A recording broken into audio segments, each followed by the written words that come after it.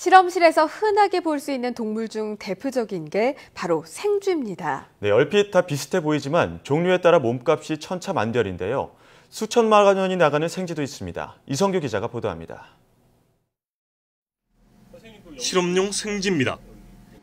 여느 생쥐처럼 보이지만 이 생쥐는 특별합니다. 비만을 유발할 것으로 추측되는 특정 유전자를 제거했기 때문입니다.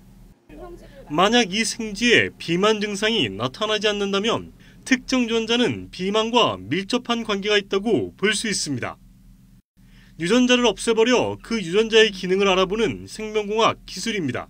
네, 특정한 유전자가 어떠한 기능을 하는지 그 유전자를 없앰으로써 어떠한 기능이 없어지는지를 확인을 해보고 그 유전자의 기능이 어떠한지 저희가 예측을 해볼 수 있습니다.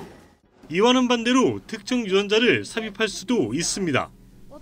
유전자를 제거하거나 삽입 또는 교정하는데 가장 많이 쓰이는 동물이 바로 생쥐입니다.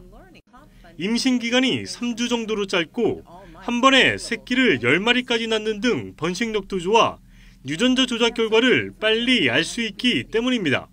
생쥐는 사람과 유전적으로 가깝지만 그 생명윤리 문제나 그런 비용, 공간 문제가 훨씬 이제 적게 들어가기 때문에 연구자들은 생쥐를 훨씬 더 어, 동물 모델로서 많이 사용하고 있습니다.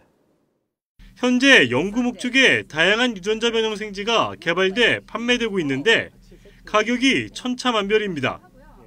일반 실험용 생쥐는 1, 2만 원이면 살 수 있는데 비싼 것은 수천만 원에 달합니다. 암에서부터 비만, 파킨슨병까지 다양한 질환 연구에 사용되는 유전자 변형 생쥐.